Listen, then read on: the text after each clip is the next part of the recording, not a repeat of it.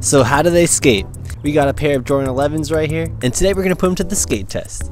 We're gonna test the flick, we're gonna test the grip, and does it have any board feel? As for ankle support, I feel like I'm gonna roll my ankle, but I mean it's chill. So we're doing the grip test right here. It's actually pretty grippy sole, I can't lie. That's kind of nice actually. We're gonna rate the grip, I think maybe 9 out of 10. I can't lie, that's actually really grippy on. And yeah, there's that carbon fiber hit right there on the arch. Oh yeah, you bet it's slick. That's like a soap shoe. I bet you could grind on that. There's no board feel at all. I mean, no, yeah, there's definitely no board feel in these, I can tell you that. Alright, time for the flick test.